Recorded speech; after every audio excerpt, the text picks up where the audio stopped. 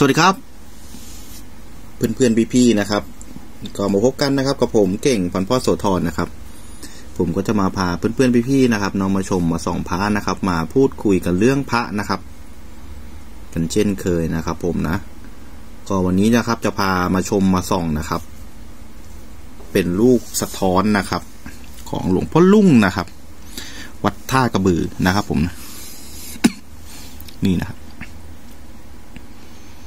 นี่ครับเก่าๆเดิมๆนะครับ นะ ผมถือว่าดูง่ายนะครับเนาะนะครับ นี่นะครับ ดูรอยจานนะเพื่อนๆพี่นะครับ ก็ลูกสะท้อนหลวงพ่อลุงวัดท่ากระบือนะครับ หรือบางคนก็เรียกลูกกระดอนนะครับ สะท้อนเนี่ยนะครับเนาะนะครับ บางคนที่เขาไม่รู้จักเขาอาจจะงงว่าอ้าวแล้วพุทธคุณ แล้วพุทธคุณท่านเป็นยังไงอะไรไปด้านไหนนะเพื่อนๆพี่นะครับ คือพุทธคุณของลูกสะท้อนของหลวงพ่อลุงวัดท่ากระบือนะเพื่อนๆพี่นะครับพุทธคุณท่านคล้ายๆเบี้ยแก้นะครับ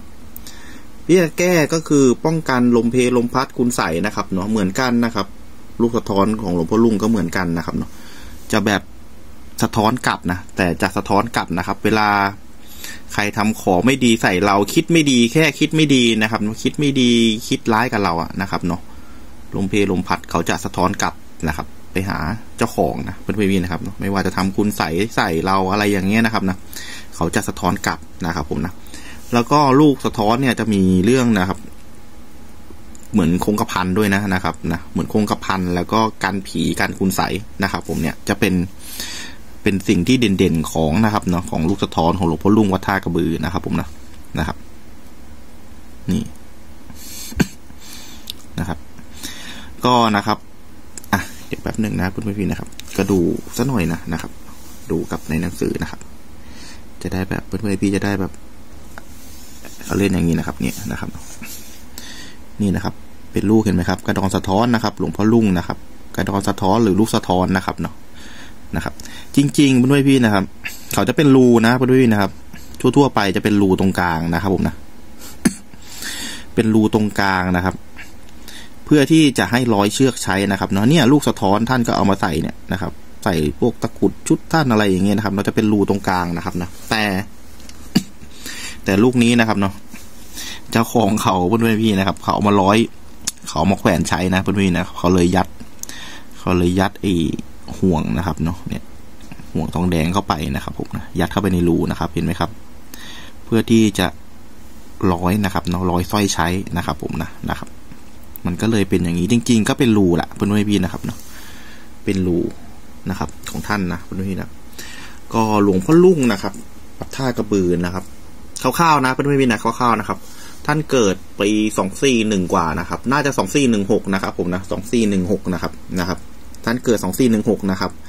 ท่านมรณภาพปีสองพันห้าร้อยพอดีนะเพื่อนๆพี่เนี่ยสองพันห้าร้อยพอดีนะครับ ก็คือของท่านนะครับผมนะ ของท่านพระ เครื่องท่าน เครื่องรางท่านนะครับนะเนี่ยต่างๆ เนี่ยนะครับเนาะนะครับ มีประสบการณ์ในยุคสงครามอินโดจีนนะครับ อีกหลวงพ่อหนึ่งนะนะครับ ของท่านมีประสบการณ์ในยุคนั้นนะครับ ผมนะก็บางคนก็อาจจะเล่นแบบเก็บนะครับเก็บของหลวงพ่อที่มีประสบการณ์นะครับ หลวงพ่อลุ่งวัดท่ากระบือ ก็คืออีกหลวงพ่อหนึ่งที่ของท่านน่าเก็บนะน่าใช้นะเพื่อนๆพี่นะครับนะเพราะสงครามอินโดจีนนะครับนะสังเกตดีๆนะครับนะ สังเกตดีๆนะครับ พระที่เขาเน้นใช้พุทธคุณนะครับ เขาไม่ได้เป็นแบบว่าเหมือนพุทธพาณิชย์เหมือนทุกวันนี้นะเพื่อนๆพี่นะครับ ชุกยุคอินโดจีนนะครับ เขาไม่ได้ออกพระเพื่อที่จะขายแล้วนะเพื่อนๆพี่นะครับ เขาออกพระเพื่อที่นะครับ เพื่อที่จะให้คนได้ใช้พุทธคุณนะครับ แค้วคาดปลอดภัยนะครับ ผมนะนะครับ แล้วตานี้นะครับเนาะ ของที่ต้องแบบว่าใช้พุทธคุณจริง ๆ นะครับเนาะเกจิยุคเก่าๆที่เขาเก่งๆที่เขาไม่เก่งนะครับ เขารู้ตัวว่าเขาไม่เก่งนะครับ สังเกตดีๆนะครับนะหลวงพ่อที่เราเล่นกันทุกวันนี้นะครับ ไม่มีชื่อไม่มีของออกในยุคอินโดจีนนะครับเนาะแต่หลวงพ่อที่เก่งๆในยุคนั้นนะครับนะท่านจะออกพระนะครับ ท่านจะคือมั่นใจในวิชานะครับเนาะท่านจะทำพระออกในยุคอินโดจีนเยอะนะเพื่อนด้วยวิครับนะนะครับ ถ้าวัดทั่วไปที่ เขารู้ว่าตัวเขาว่า คือยังไม่เก่งพรรษาไม่ถึง เขาก็จะเอาแบบเอาพระกุนะเพื่อนด้วยพี่นะครับ เอาพระกุที่ขุดเจอเอาไปช่วย ไปช่วยภาครัฐนะนะครับ แต่แต่ถ้าพระที่เขาเก่งนะครับนะเขาจะออกของ เขาจะออกพระในยุคนั้นนะครับนะดูง่ายๆ เหมือนจ่าจงคงอีนะครับเนาะพระจงก็มีพออีก็มีนะครับเนาะนะครับจ่าจงคงอีหลวงพ่อคงก็มีนะครับเนาะหลวงพ่อจาดก็มีนะครับผมนะแล้วก็จะเป็นพวก หลวงพ่อพิงค์บางประกอบเห็นไหมครับ ลูกอมท่านแล้วก็หลวงพุททองนะครับ วัดราชโยธาอะไรที่ ที่แบบพระที่เขาเอามาใช้กันนะนะครับเนาะนะครับ นะครับ ที่มีประสบการณ์ในยุคสงครามอินโดจีนนะครับนะนี่นะครับ แล้วก็หลวงพ่อลุ่งวัดท่ากระบือ ก็เป็นอีกหลวงพ่อหนึ่งนะครับ ผม นี่นะก็นะครับ เดี๋ยวแป๊บหนึ่งนะครับ ลูกสะท้อนของท่านนะคุณพี่นะครับ มีหลายแบบนะนะครับ ก็จะมีแบบที่ผมให้ดูเมื่อกี้นะครับเนาะเป็นลูกๆอย่างนี้นะครับเนาะเป็นลูกๆมาแล้วก็เอาไปร้อยใช้อะไรพวกนี้กับกับกับสมัยก่อนเนี่ยนะแป๊บหนึ่งนะคุณพี่นะครับ ก็คือเป็นชิ้นที่ ก็เล่นหาสมัยก่อนนั่นแหละครับเนาะก็ สมัยก่อนผมก็เคยได้นะครับเนาะเดี๋ยวแป๊บหนึ่งนะครับเดี๋ยวมันจะเป็นชุดๆอย่างเงี้ยนะคุณพี่นะ นี่นะครับ เดี๋ยวนะ จะได้แบบเพื่อนๆพี่จะได้ดูรูปไปด้วยกันนะครับ ผม เอาลูกเดียวนะเอาลูกที่ดูง่ายๆหน่อยนะครับ ผม ของทุกอย่างนะเพื่อนๆพี่นะครับเนาะมัน มันธรรมดาครับเนาะมันมีแท้มันก็ต้องมีเกนะครับ เอาลูกที่ดูง่ายๆหน่อยนะครับ ผม ก็คือลูกที่ผมดูไม่ดีก็ไม่ยุ่งกับเขาล้วกันนะครับ แต่เอาลูกที่ดูง่ายจะเป็นประมาณนี้นะเพื่อนๆนะครับ เนี่ยนะครับ จะเป็นชุดอย่างนี้นะครับ ผมนะนี่นะครับ เป็นลูกกระดอนนะครับ ขออนุญาตเจ้าของภาพด้วยนะครับเนาะอันนี้นะครับ เห็นไหมครับ เป็นลูกกระดอนนะครับ จะเป็นอย่างเงี้ยเป็นชุดอย่างเงี้ยนะครับเนาะอันนี้คือเป็นชุดที่ที่ซื้อขายทั่วๆไปนะครับ แต่เก๊ก็เยอะนะนะครับนะครับ แต่เก๊ก็เยอะนะนะครับ แล้วนี่เพื่อนๆพี่ดูนะครับ เนื้อหาของลูกกระดอนนะครับ เนี่ย จะเป็นอย่างนี้นะครับ เหมือนหลวงพ่อลุงอะนะครับ ท่านจะเหมือนลง เขาเรียกอะไรนะแลกเกอร์หรือสแลกเขาเรียกประมาณนั้นนะเพื่อนๆพี่นะจะเป็นอย่างเงี้ยนะครับ เนี่ย เนี่ยเป็นเอกลักษณ์อย่างหนึ่งเห็นไหมครับ ลงแต่เก่านะเห็นไหมครับ มันจะเป็นไขไม้นะครับเนี่ยนะครับ ไขไม้ไขแลกเกอร์เห็นไหมครับ แล้วก็มีรอยจานนะครับ เนี่ยนะครับ แล้วก็สังเกตอย่างหนึ่งนะครับ น้องงานเหลานะครับ ก็เหมือนประหลัดขีกนะเพื่อนพี่นะครับ เนี่ย ดูการแก่นะครับ แก่แล้วก็ต้องมีไขนะครับ มีไขปกคลุมนะครับเนาะนะครับ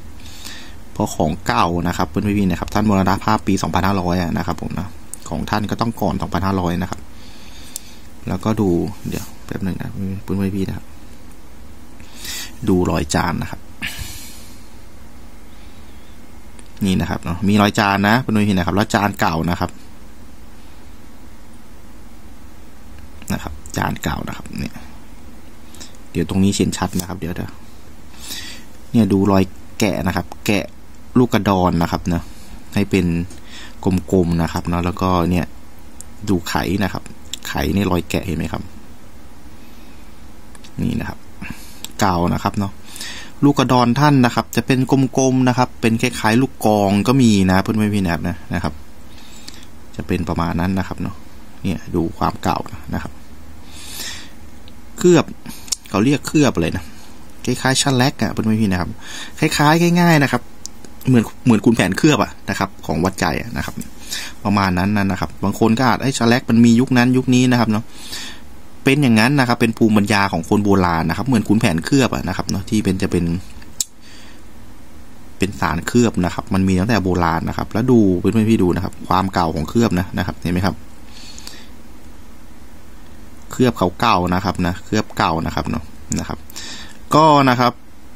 ก็สไตล์ผมนะนะครับ สายเครื่องรางนะครับเนาะอันไหนดูแท้ดูง่าย ก็บอกว่าแท้ดูง่ายนะครับ ชิ้นนี้แท้ดูง่ายนะครับ ผมนะเป็นลูกกระดอน เป็นลูกกระดอนสะท้อนของท่านนะครับ ผมนะลูกสะท้อนนะครับ ป้องกันคุณใส่ป้องกันสิ่งไม่ดีนะครับ ก็คือเบี้ยแก้จะแบบ จะแบบปัดเป่าหายไปนะครับ แต่ลูกสะท้อนจะสะท้อนกลับไปหาเจ้าของนะครับเนาะถ้าใครคิดไม่ดีกับเรานะครับนะนะครับ พุทธคุณจะไปทางนั้นนะครับ แล้วก็จะมีเรื่องมหาอุดคงกระพันนะครับนะชาตีนะครับ เข้ามาร่วมแจมด้วยนะครับผมนะแล้วเจ้าของเก่าเขาไอห่วงเขาใช้ก็เก่าเลยนะเพื่อนพี่นะครับดูนะครับ ดูร่องรอยที่เขาเสียบเข้าไปนะนะครับเนี่ยเก่านะนะครับ จน จนรวมไปกับลูกไอลูกสะท้อนเขาแล้วเขาแล้วครับ ดูนะเนี่ยเห็นไหมครับ ใช้เก่าใช้เดิมเป็นห่วงทองแดงนะนะเนี่ยนะครับ เนี่ยดูคาบตะกันแล้วกันนะเพื่อนพี่นะครับนี่นะครับ เป็นไม้เฉพาะของท่านนะเพื่อนพี่นะครับไม้ที่เอามาทำนะครับ เนี่ยนะครับ เป็นไม้ของท่านนะนะครับ ก็ไม้พวกนี้มีพุทธคุณนะครับ ก็เหมือนไม้เขยตายของหลวงปู่เมฆอะเพื่อนพี่นะครับเขาจะเป็นไม้ของเขานะครับเนาะเป็นไม้สูตรของเขานะครับ ของหลวงพ่อนะครับผม นี่นะครับ ดูง่ายครับเนาะเก่าแท้ถึงยุคสบายๆนะครับเนาะลูกสะท้อนของหลวงพ่อลุ่งนะครับวัดท่ากระบือนะครับผมนี่นะครับเนาะก็โอเคนะครับเนาะสำหรับวันนี้นะครับ